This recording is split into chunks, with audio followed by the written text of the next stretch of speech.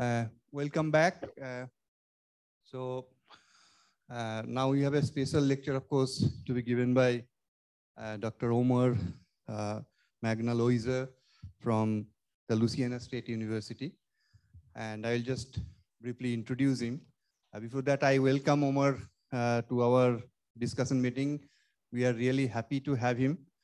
Ideally, we wanted him to be here in person and he also, of course, wanted to come here in person, but due to some technical reasons, uh, he could not come in the last moment. And we hope that we will, of course, have him in person later on sometime. But uh, of course, it's uh, also good that he has uh, agreed to give this lecture online. And let me just give a brief introduction of Omar. So Omar is, of course, leading the experimental quantum photonics group at uh, Louisiana State University now. He did his PhD from University of Rochester, and he has a wide range of uh, interest in quantum photonics, starting from quantum communication, communications to quantum state engineering, quantum metrology, and of course, uh, quantum plasmonics, which is a relatively new field. And the talk, uh, the title of the talk uh, that you can read here, multi-particle inter, uh, interactions in plasmonic nanostructures is somewhat related to that. So we are very happy to have you here, uh, of course, online, Omar. So over to you, Omar, please. Thank you. And thank you so much for inviting me and for giving me the opportunity to talk about uh, my research. And as you mentioned it, today I will talk about multi-particle interactions in plasmonic nanostructures. And this is a broad title or a very general title, but what I have in mind is something like this. So we fabricate nanostructures, we illuminate them, and then we use these nanostructures to induce some particular multi-photon interactions.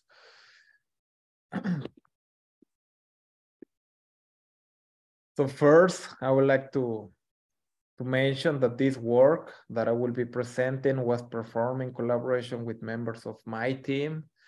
So here I show uh, uh, my team and, the, and in this work, uh, my postdoc, Dr. Chenlong Yu, participated. Also, Dr. Ash Miller, Minyuan Fateme, and, and Manik. And in general, my group does, as, as, as you mentioned it, multiple things. So we work on quantum imaging, we shape some special modes of light for communication purposes and for metrology. We also work on quantum metrology with entangled photons to measure small physical parameters. We use nanostructures to shape the optical field.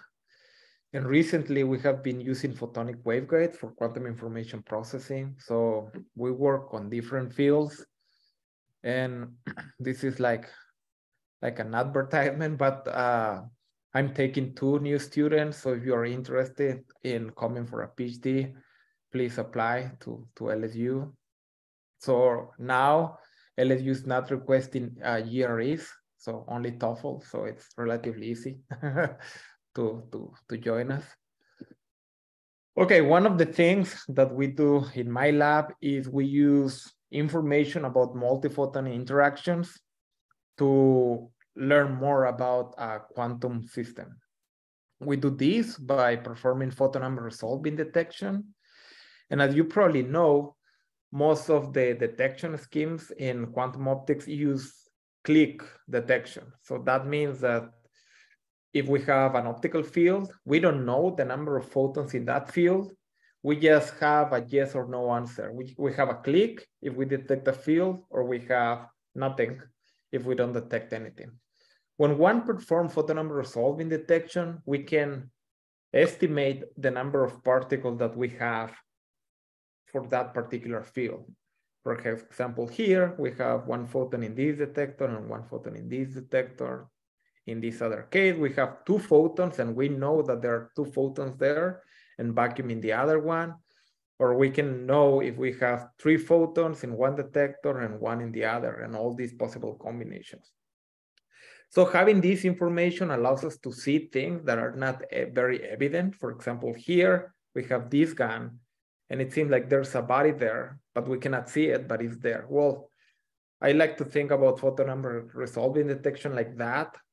By doing by by performing these measurements, we can identify some dynamics that are not very obvious if you do click detection.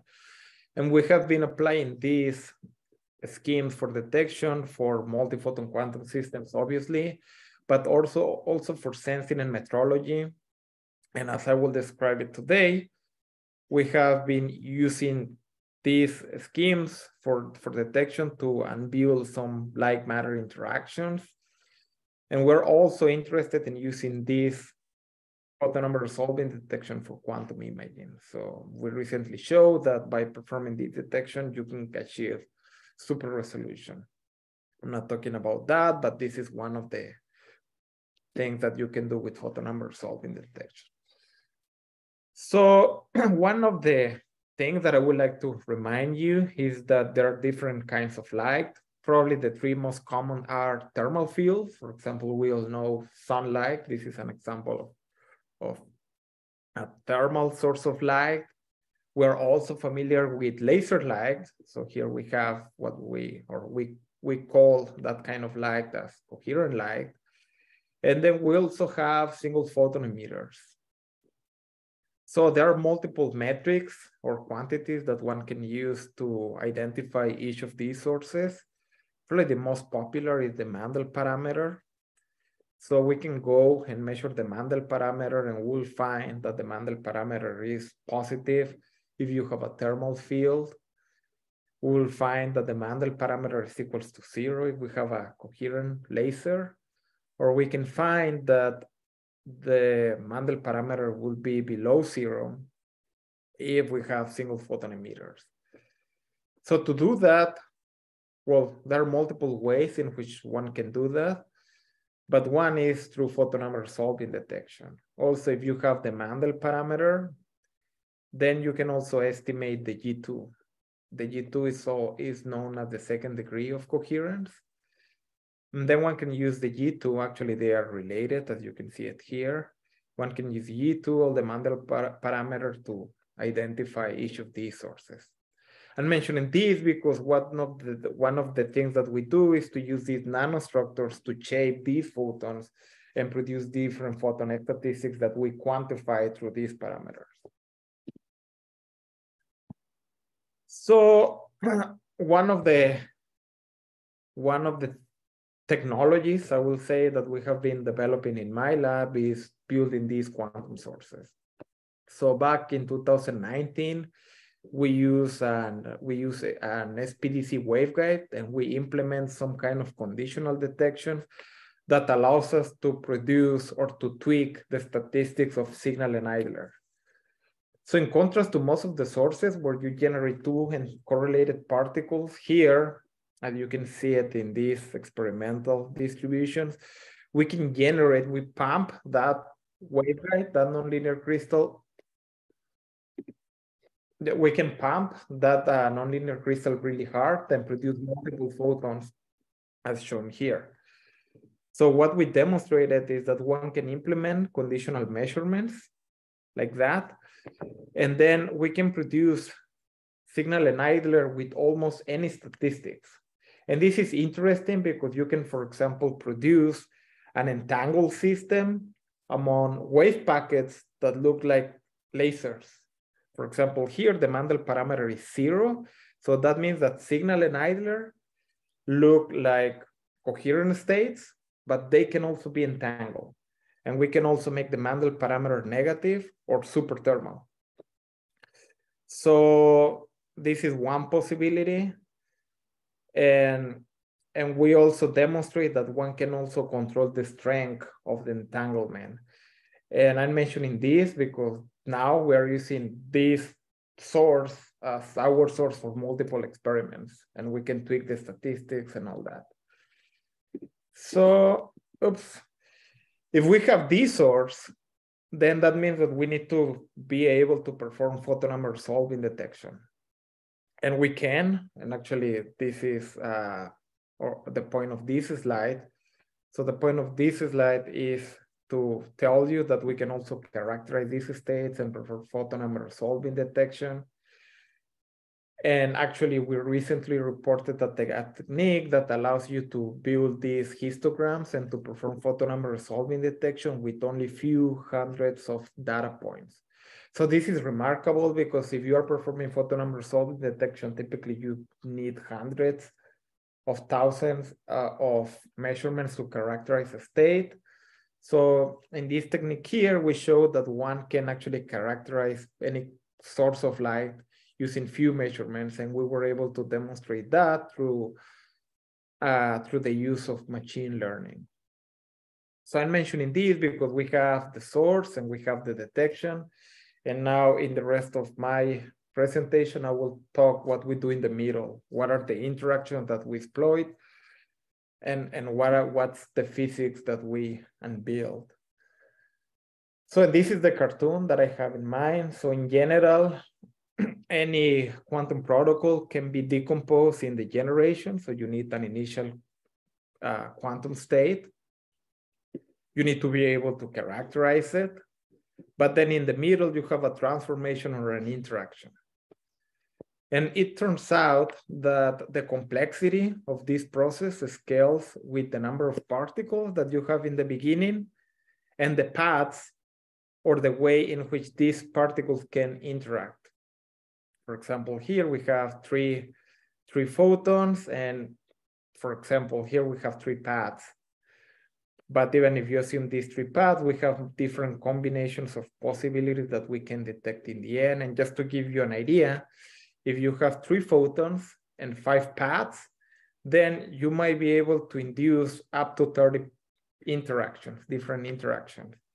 Now, if you increase the number of particles up to six photons. And this is something that we can do in the lab. In my lab, if we go back, we can detect up to say six photons with low probability, but we can generate them. And now if you increase the number of paths, you can have 7,000 different interactions. And this is really complicated. Actually, calculating each of these interactions is hard. And we're using these ideas for quantum simulation. I'm not talking about that, but this is basically our motivation. And then you might be asking, how is this related to plasmonics? Well, as I will show it in, in, in, in a minute, so it turns out that we can increase the number of paths by using plasmonic near fields. And this is, and in the first part of my talk, I will tell you how we increase the number of paths using plasmons and then how we use these different paths to induce different multi-photon interactions that lead to different forms of light. And this is basically what, what I will be uh, describing. So to, to, to understand this, it's, it's always useful to, to remind you about the Young double slit experiment. So if we have a source and then if, if that little particle is passing through the lower slit, as we all know, we expect an intensity distribution of this form. If now, if the, oops, if the particle is traveling through the upper slit, we'll have another spot like that.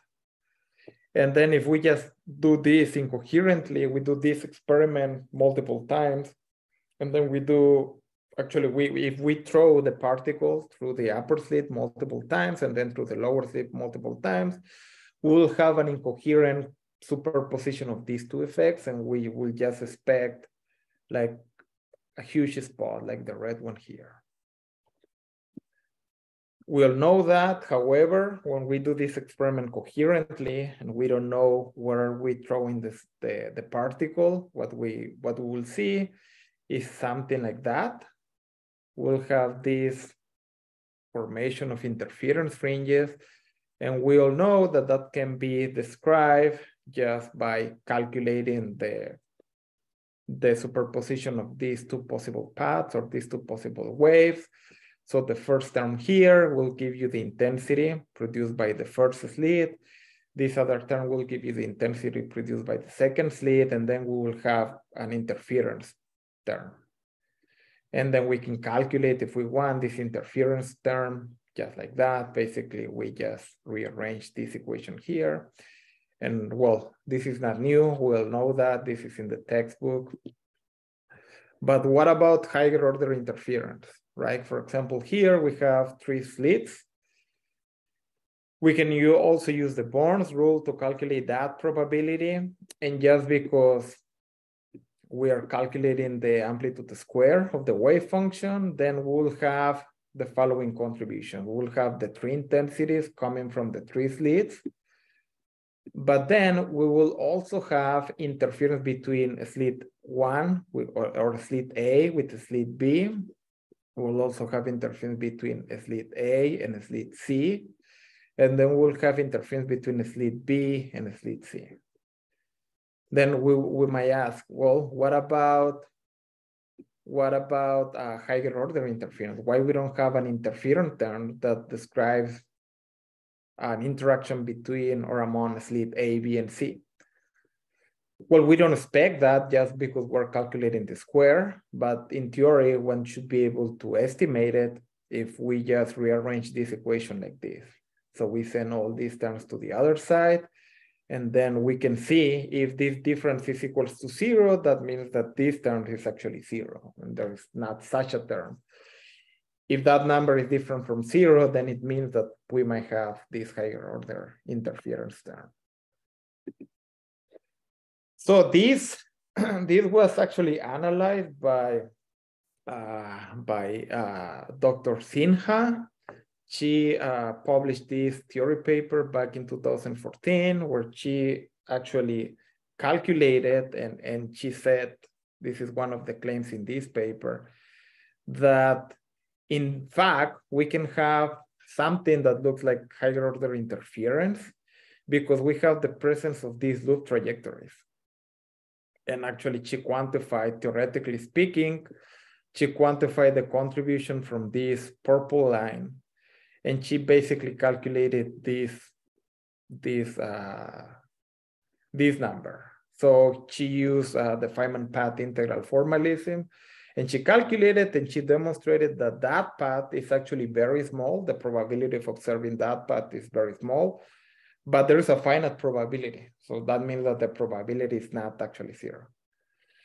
So as you can see, when if I go back to, to, to the initial idea behind my presentation, so if we could use this additional path, we can induce more complex interactions. And that's why we are actually using these ideas because we have these extra paths and then we can use these extra paths to, for example, induce more complexity to the quantum simulation. So later, after I read that paper back in 2016, we ran an experiment. So one of the things uh, that I thought is, well, maybe this loop path that were theoretically reported in the first, in the previous paper, can be associated to the near field of the electromagnetic field. So as you probably know, when we do uh, diffraction, typically we say, oh, the far field distribution is just the Fourier transform of, of, of an aperture. And when you do that, you're basically neglecting the near field contributions. And I said, well, maybe if you keep these near fields, if you take them into account, these near fields can actually lead to these loop trajectories or loop paths. So we did an experiment and we say, okay, let's do the experiment, but now let's use a plasmonic or a metallic triple slit. And the, the special thing about this plasmonic slit is that if you illuminate it with vertical, vertically polarized light, that means light polarized along these slits, you don't excite any near field. I mean, you will just have the natural near field that you expect in all the cases. But now if you rotate polarization, and now if polarization is oscillating in this plane, so you will excite a plasmon plasmon, by the way, I didn't mention it, but it's just the coupling between electrons and, and photons in the surface of a metal. So you will excite a plasmon and that plasmon will enhance the near field surrounding this nanostructure.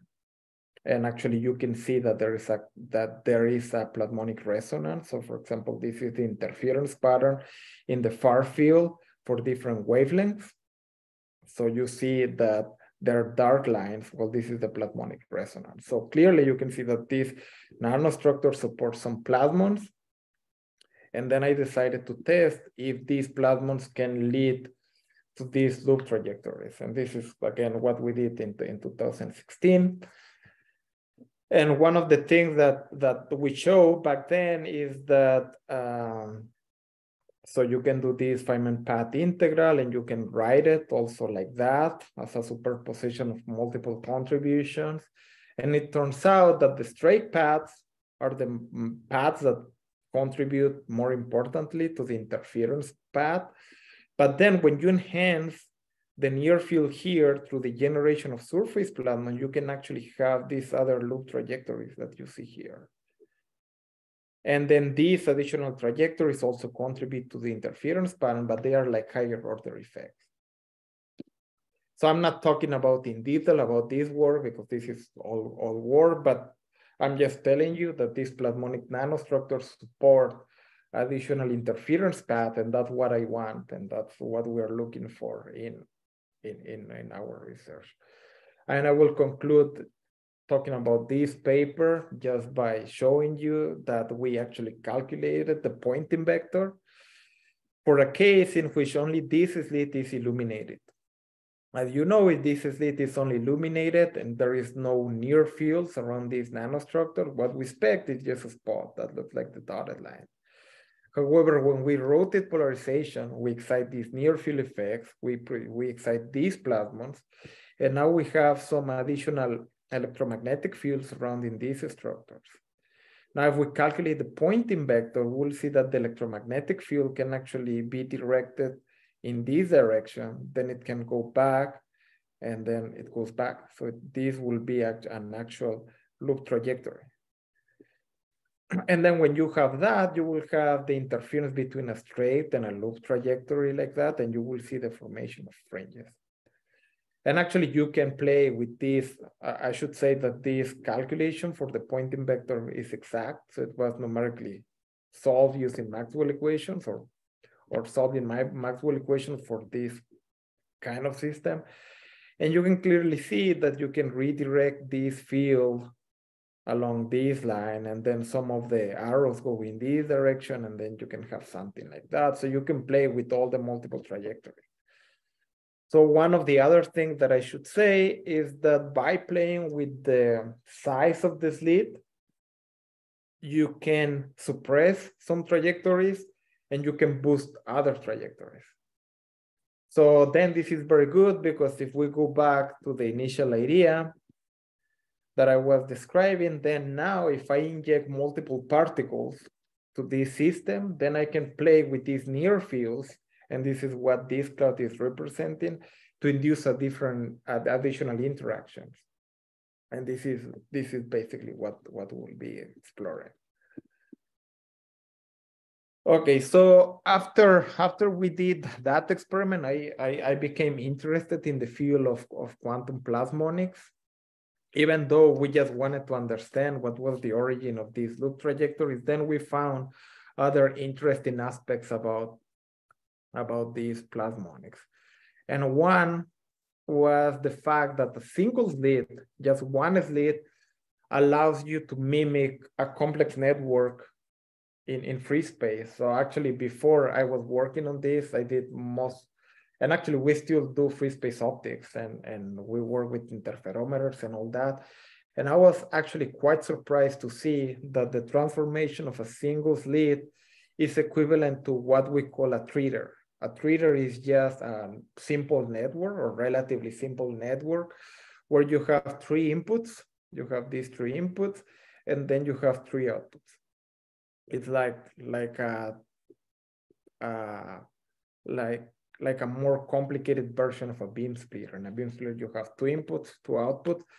This is very similar, but now here you have three inputs and three outputs.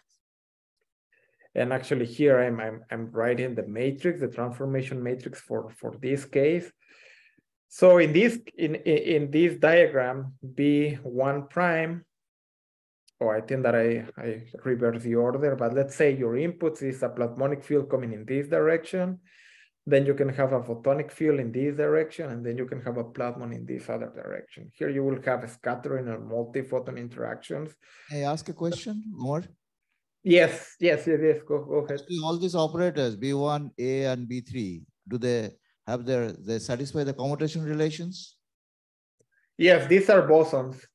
Yeah, actually this, uh, yeah, this is very important. In a minute, I will talk about these bosons and, and fermions because actually we use this, this uh, platform to, to induce bosonic and fermionic interactions. But yeah, this for now, or, or at least in this paper, we assume that these were boson.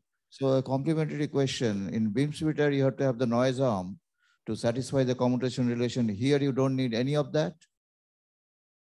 Uh, mm, no. Well, yes. Uh, well, it depends on how you understand that because uh, here what we have is that each of these, well, it's actually included because each of these K vectors or couplings are actually complex. So you have, but yeah, just like, like in a beam splitter, you have additional, additional losses. Okay, thank you. Yeah. So yeah, okay. So well, yeah, so there there are two pieces of information that that that I wanted to mention mention. One is that it's nice that a single slit can give you this transformation because then that means that you can implement a sophisticated and complex quantum network using this plasmonic platform. And this is the, the good part. The bad part is that, as, as you probably know, uh, plasmons are uh, lossy fields and then you have to deal with the losses but you have losses everywhere even if i mean we're working on different platforms that use waveguides. And you have still losses when you when you couple or decouple and you have also losses in the chip. So you have losses everywhere. Anyway so we demonstrated that and i and and and i and i knew again about the losses. But when i kept working more and more on this field, I realized that a lot of people used to claim that that these surface plasmons preserve both entanglement and photon number statistics. So, and, and here I just have some quotes. Then people used to say that, uh, yeah, that the statistics were preserved in these kind of systems that basically all the quantum properties are preserved in, in the transformation between photon to surface plasmon to photon, because actually here we have a photon, then we have surface plasmon, and then we have photon back. So, and, and actually some people even demonstrated, I mean, demonstrated the preservation of two photon coherence and all these kind of things. And I'm not saying that that cannot happen, but the mm-hmm. point that that that that or the idea that I had is that sure you can force your system, you can force your system to preserve these quantum properties of coherence, but that's not always the case. Sorry? Yeah, I have a question. Right. So this interaction between B and A field, they are number preserving, right? Ideally, yeah. So then uh, the losses which you are talking, these are loss in only energy, not in the mode, the number of like total number of modes? The total number of modes is preserved. In this case, is three three input modes, three output modes. No, I'm saying that uh, yes, total number, not that way. I'm saying total number of excitation in uh, in all three modes. Like, are you using uh, rotating wave approximation in writing this coupling? Uh, yes, yes, yes, yes, yes, we did in the paper that's reported there. Mm-hmm. But uh, but as I was describing it, due to to the fact that these plasmons are evanescent fields, then obviously the in reality right? In reality the the total number of particles or the conservation of particles i will say that this the total number of particles is not preserved due to losses experimentally speaking right? And actually that was quantified in in, in this work But Yeah. in, in the theory, you are conserving. I guess that is what you are trying to answer, right? Right. Yeah. In the, the theory, yes. In the experiment, that, no. But actually, this takes me to my next point, or to the next point in my in my presentation. Right. That you can use these evanescent fields to shape uh, coherence and actually the quantum statistics of this of a multi-particle system. Okay. Actually, thi- this is the reason why I'm I'm I'm bringing these quotes to, or these uh, claims to your attention because our field, this is a very nice review, but in our field, like a lot of people used to think like that, that okay, you write these kind of transformations with everything where everything is preserved, then you will expect that everything will be preserved, including entanglement, including photon statistics, inclu- including quantum coherence. So what we show, what we demonstrate is that actually that's not that's not the case. So and and and I will go back to the initial to the initial diagram that that I used in in my introduction. So if we have let's say these three different three different inputs, for example, this looks like a tritter. So in this work, we only we only study one particle we study one particle in three different modes. What we did now, or the new thing that we published last year, is okay, now let's consider the fact that you inject three different particles, and then you use these near field effects to engineer the scattering between these particles. And actually, what happens is that we have more than that. We have a scattering between photons and then we have photon plasmon scattering. And then as a result of that, what you have is that these three initial uh, particles can be redistributed like that. So if your input was red, green, and blue, then one possibility is that in the output you will have red and blue in this path, then you will have green in the second path, and probably you will have a vacuum state there. Or you can have these other contributions. Now, what we're doing, if we if we think like that, is we're basically reshaping the the excitation mode. This is actually the excitation mode. We're actually reshaping the excitation mode of the field. And then if we're capable of doing that, of doing that, then we can re-engineer the field and its quantum statistical properties. And this is actually what we did. So, I mean, this, this conference is about spin orbit coupling. Here we don't have quite a spin orbit coupling, but what we have is a Hamiltonian of the following form, where, well, here we have a coupling. This is just a strength or a constant. And then we have a nanostructure that is basically coupling the polarization mode to the photon number in this case. So this is what we have. It's very similar to the structures that I described earlier, to the three path, uh, to the three slit uh, structure that I described earlier. So here we'll, we'll have one source, we'll have a wave packet because we have multiple photons there. Here we'll have another one.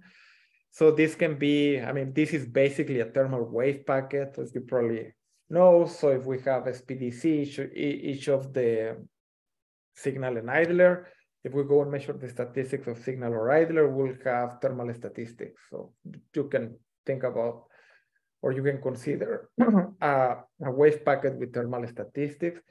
And we prepared this in an initial state that let's call its diagonal. So later we change it, but for now, let's consider that this initial state is diagonal. and then if it's diagonal, one part, let's say the vertical part will just pass through the slit like the green line, but then the horizontal contribution will induce these loop trajectories that I was describing earlier. So you'll have this possibility, this, this other possibility, or, or the combination of both. So this is what we represent here, that if we have a plasmonic structure like that, and we illuminate it with diagonally polarized light, some field will get coupled to the other slit like this, and then they will interact. So this can be described by this kind of, of, of, of Hamiltonians.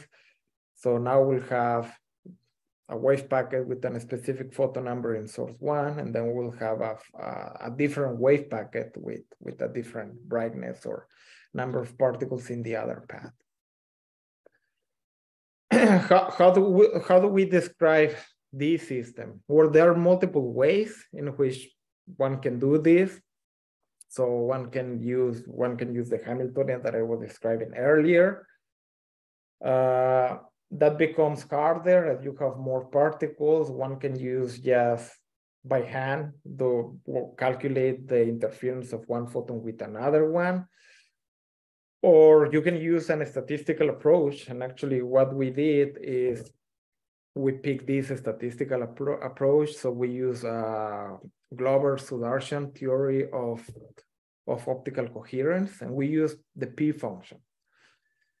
So in, in general, if you have, and I, actually this is described in these very nice papers, and we recently used them for, for these two, two papers that, that I'm citing here. So in general, if you have a thermal or or a coherent field, you can write a P function for the coherent field like that with a delta function, and you can do something similar for the thermal field. And in general, a general field will be or will contain the contribution from either one of these two fields, right? You can have the contribution from a coherent system or the contribution from a thermal system. In reality, you have both. And if you have these contributing in an indistinguishable form, then you can calculate the P function by using this convolution. and then this is this is very nice. You calculate the P function for the system. Oops. And then if you have the P function, that means that you have information about the density matrix. And if you have information about the density matrix, you can use that to calculate the probability distribution that this is what we go and measure in the lab. So this is useful. Now, if you have distinguishable contributions, what you have to do is now convolve the probabilities. So this is the, the, the coherent description this is, well, this is the indistinguishable description, I should say. And this is the, the distinguishable scatter. Now you go and calculate the P functions. Then from that, you calculate the photon number distributions. And then with that, you calculate the probability. So in reality, you have both. If you go and describe our double slit system that I that I showed before, you will see that the final probability distribution is actually given by this expression, where you can see that the final probability distribution depends on the brightness or the number of plasmonic particles that you have or plasmonic modes that, that you have. And also that depends on the number or the photon number of your source. And that also depends about the coupling and other things and other parameters, but the important thing is that the plasmonic near field is contributing to the final photon number distribution that we go and measure.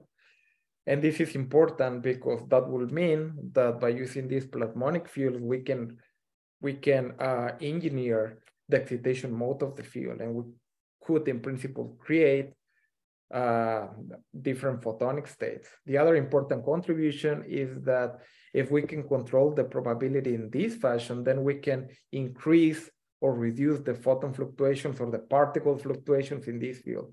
Now we'll talk about particles because in reality, what we have now is eh, we have a plasmon that's a quasi-particle and we have photons. So we'll just say particle.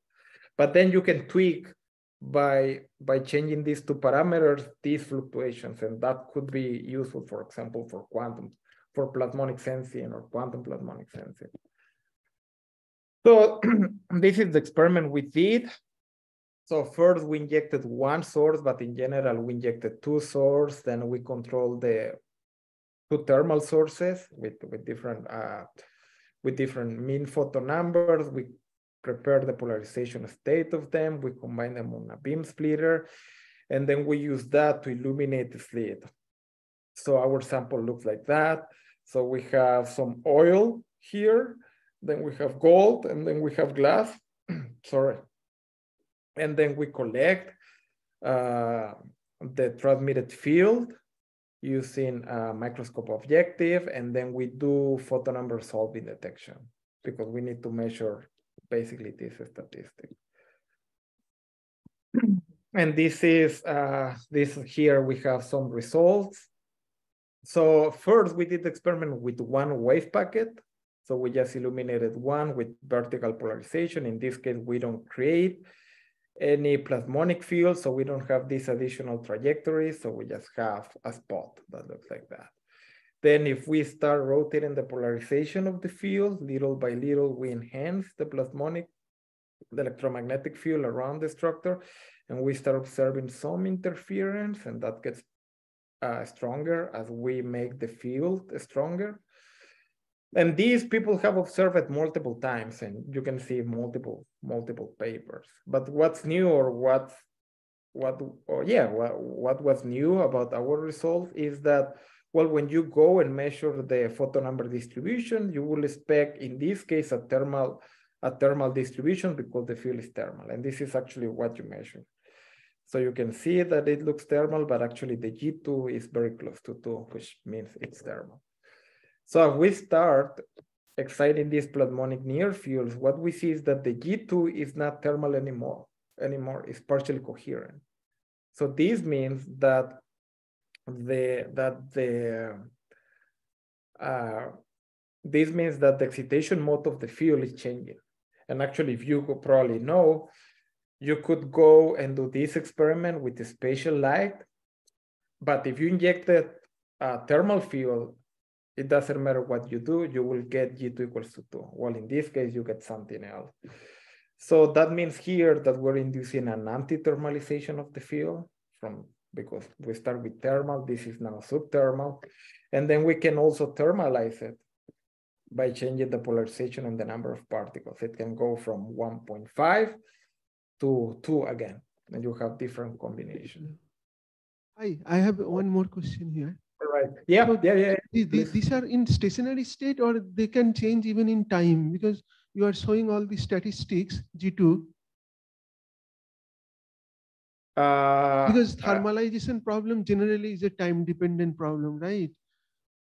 Right. Well, the uh, I, I will say that everything is stat is static. Of course, the time is progressing as we go as we do the measurement, but but I mean there are times that can be associated. We didn't do it because that was the point of this paper. The point was to show that the statistics can be changed.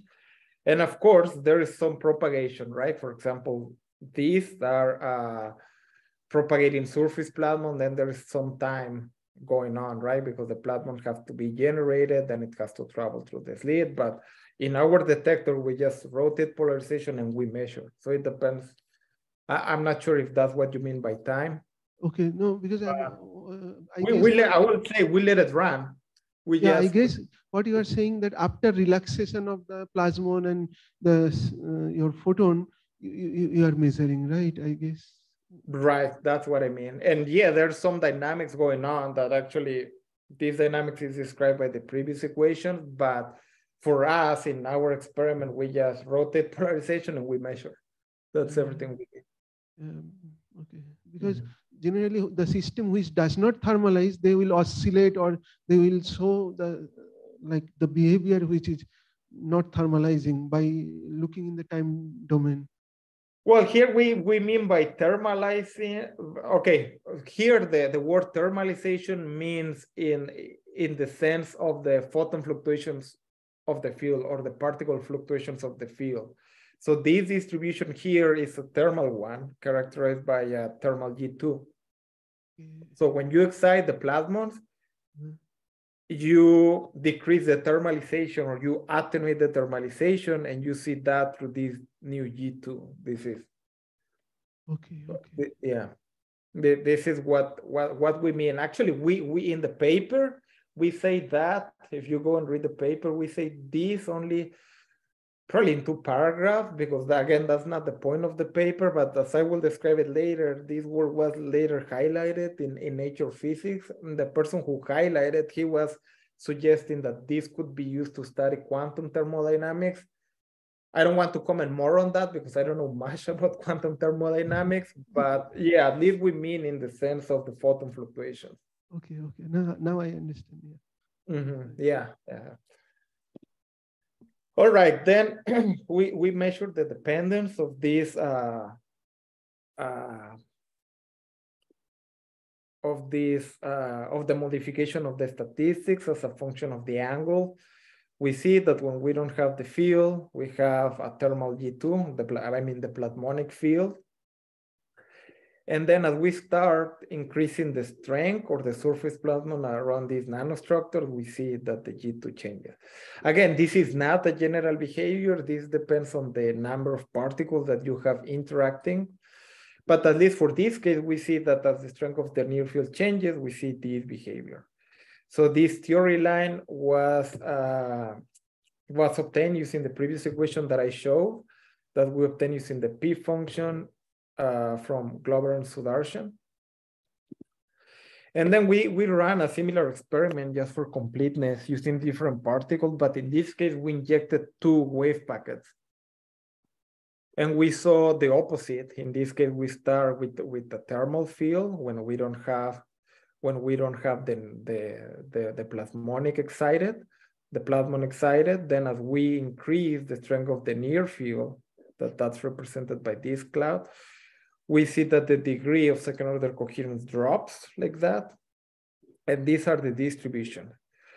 So I should say that, uh, that the distributions are important, obviously, but the distributions can be changed if you change the particle numbers. What cannot be changed, and this is very important, is the G2. So the G2 is independent of the photon number. So it doesn't matter if you have a bright or an attenuated source, your G2 will be one number. and that's the important part. It doesn't matter how the, the probability or the photon number distribution looks. If you just calculate that number, then that should be independent on, on the brightness. So just keep that in mind. So as I was uh, Okay, I'm running out of time. As I was describing this, after we published uh, our work, then it was uh, it was discussed in multiple places. But one interesting review was this performed by Professor Tame.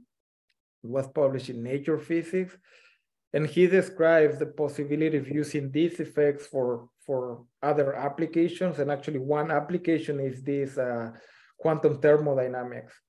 So my group doesn't do anything about quantum thermodynamics and we don't know much about it, but it will be good to, to understand this thermalization and anti-thermalization in the photon number basis and connect them to quantum thermodynamics, if that can be done. So yeah, I invite you to, to read that.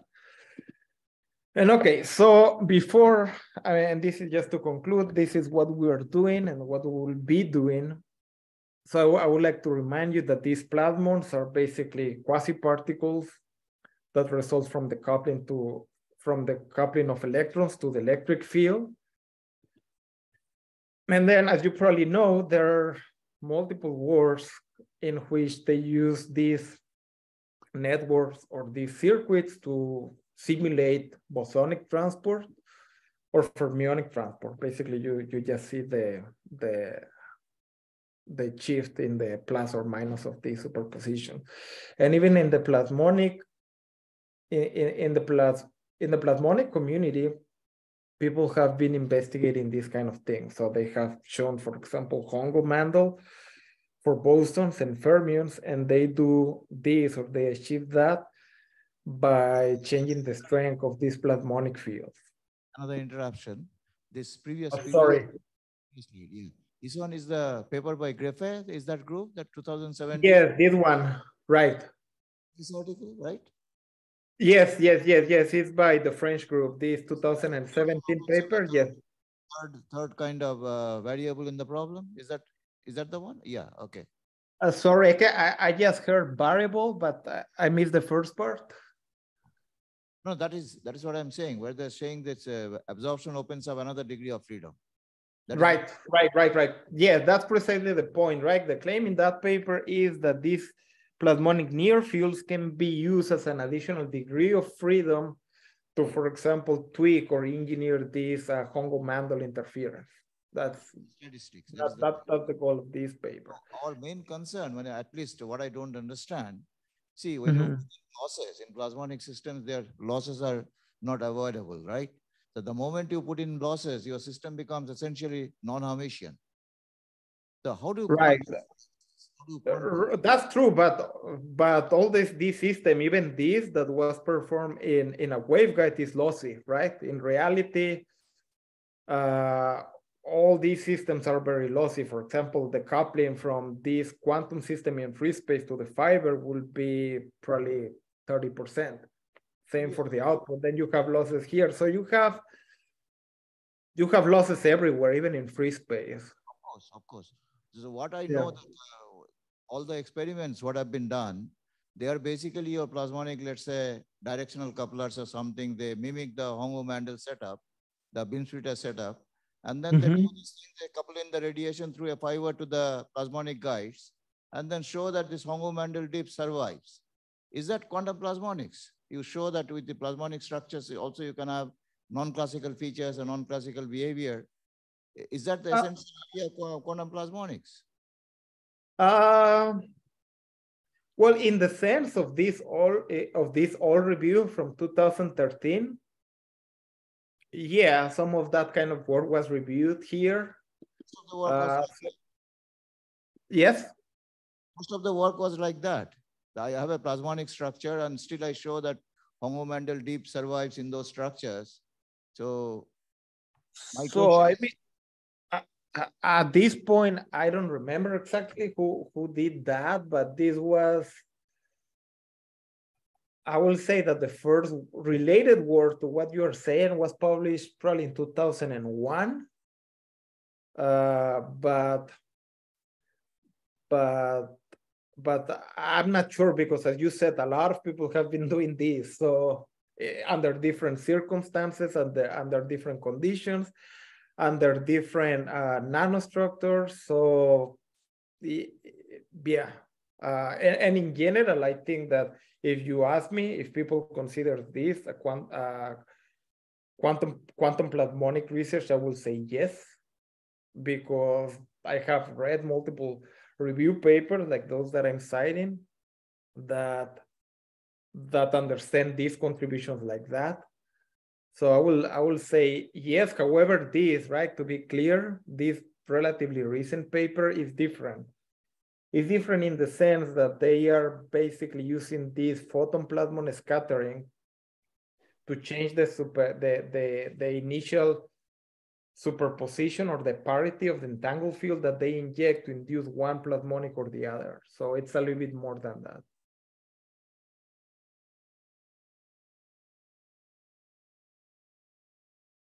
Okay, so anyway, so uh, going back to to yeah, motivated by the by this kind of work, then we said, okay, can we can we use the same system because in the end you just need the interference that it was mentioned between let's say two different possibilities, and then all the dynamics will happen here.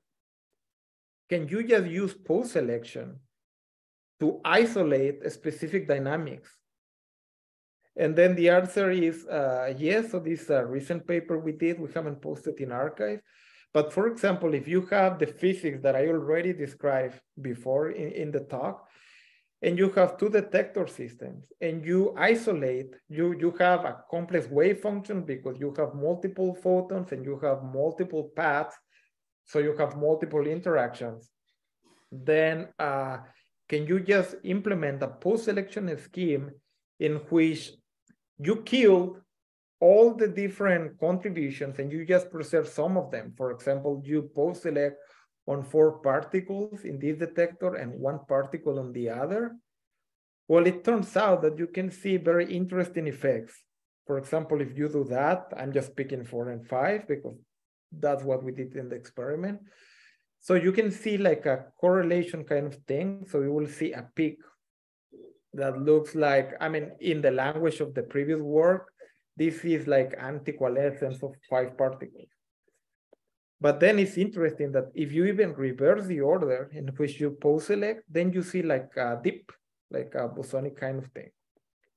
So this is, uh, I don't have time to go and describe that. I just have this, but this is one of the additional things that we are doing. We're post-selecting, by post-selecting, we're collapsing or projecting the complex wave function to some particular photon number events, and then we're isolating particular dynamics. The other thing that we are doing, and, and recently we post a theory paper in arXiv where we describe the quantum Van-Cittert-Zernike theorem.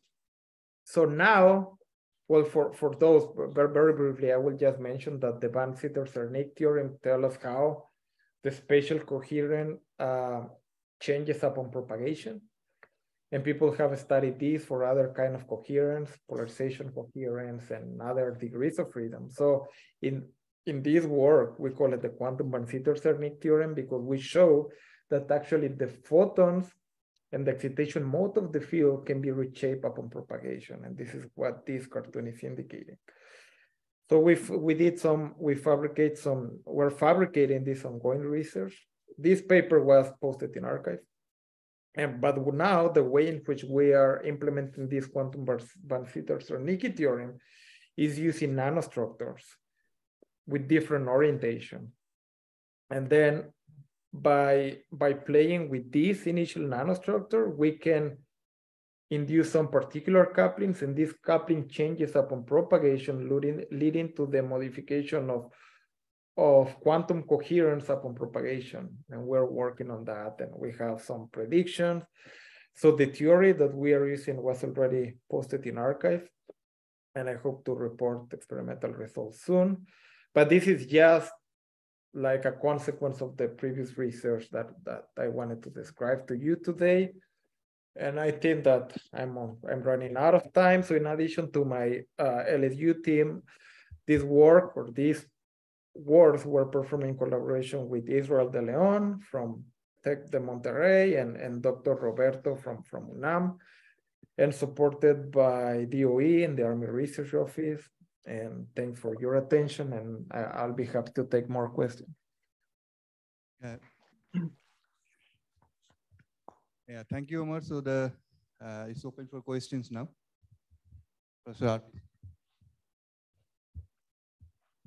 So for photon number resolving detector, we are using uh, transition edge sensors. So uh, for for some of our work we did for this for this work for this particular work we use uh, uh, nanowire detectors, and what we did is we we did time multiplexing. So, so some of our work, yeah, I should say some of our work uh, uses transition edge sensor from TES from NIST. I, I did my my my postdoc there. So we, we collaborate them, but for this particular, for this particular work, we use, uh, we multiplex uh, nanowire detectors. So how uh, actually the recipe resolve, uh, three, four, up to uh, which number you can resolve using SNSPD multiplexing? Uh, yeah, so we we have to work. That's a good question. So we have to work with sources with a mean photon number below three. And then you work within this range, the fidelity will be above 95%. So if you go brighter than that, your fidelity will drop.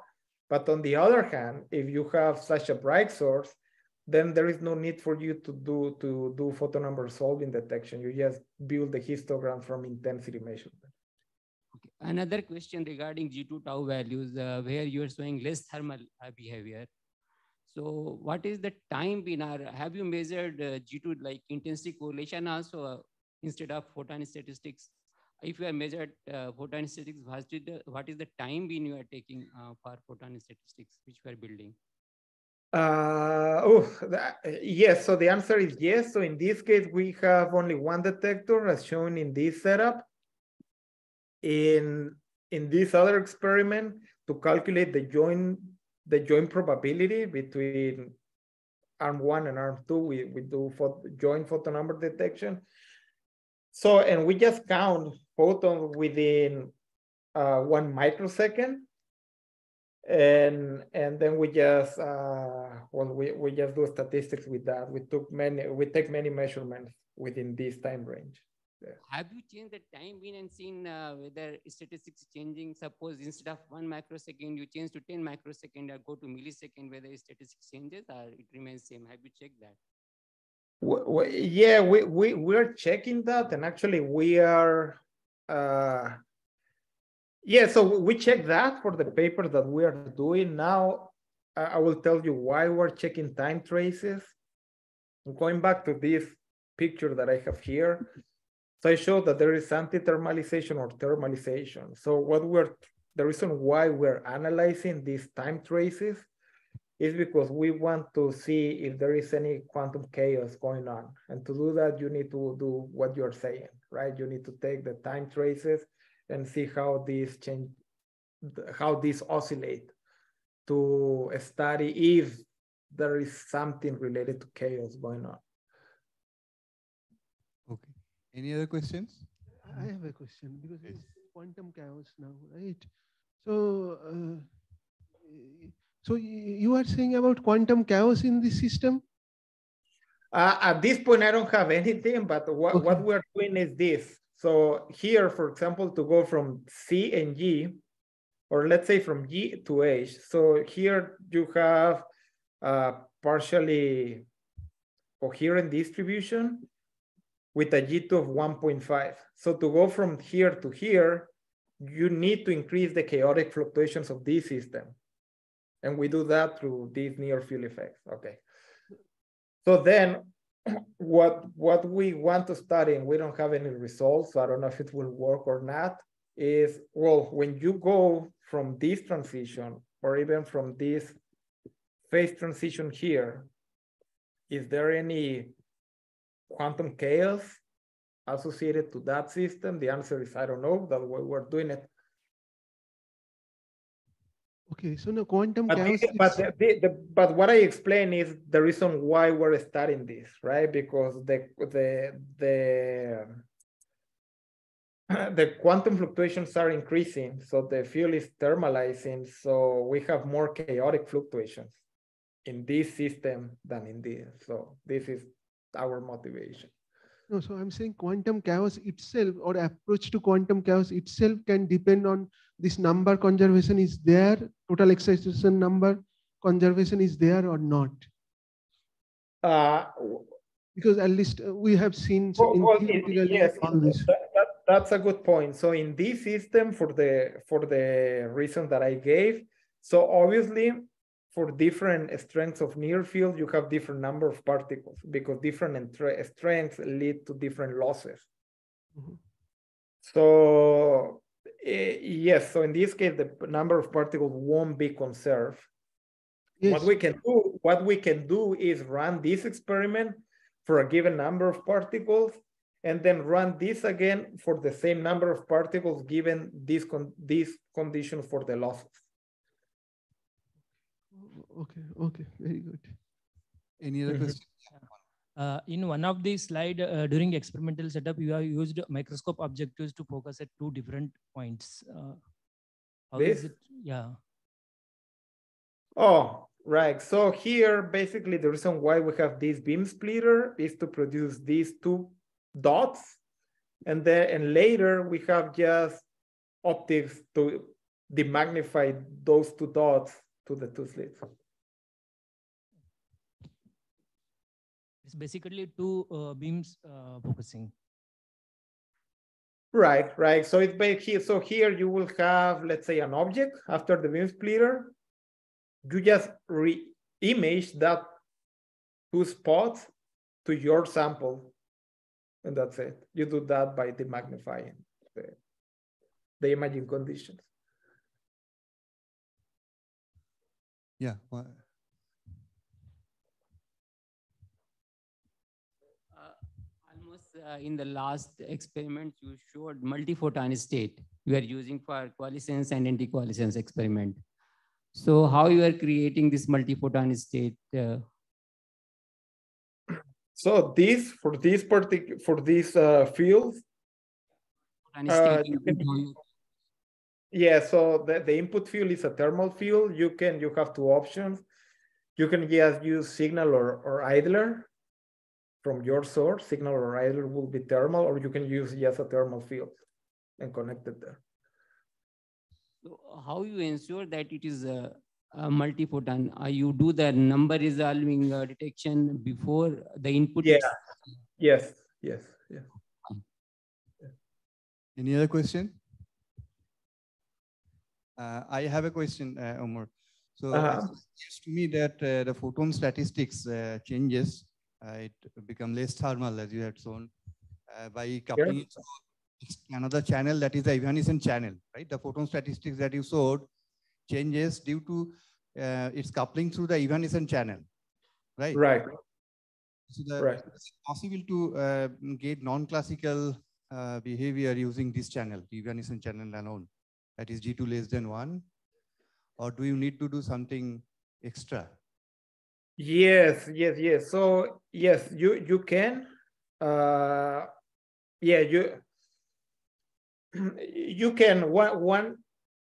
I mean, it's it's a tricky question because in, in yes, in principle you can, but you have to do that through post selection like, like here, right? So you have to collapse your wave function to or project the density matrix of this complex system to one particular outcome. And then if that projection is quantum, then you will observe these quantum features. Okay, thank you. So any other questions? So if not, uh, let's again thank uh, Omar